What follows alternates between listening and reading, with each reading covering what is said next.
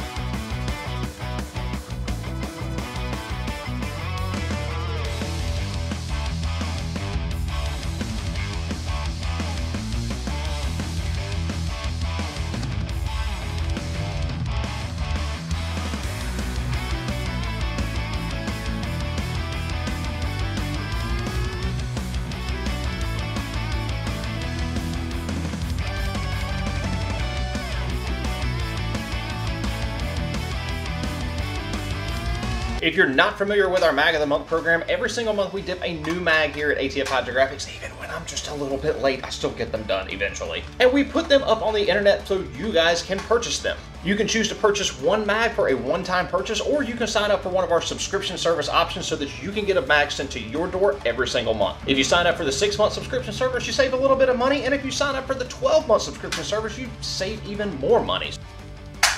You know, because I'm a nice guy like that. So go ahead and go get you one of these Mag of the Month while you still can, because I'm pretty sure they're going to sell out very, very quickly. And now the moment you've all been waiting for. Let's roll the bloopers. Riddle me this. I can't help it. Like I want to say Batman so bad, but we're not.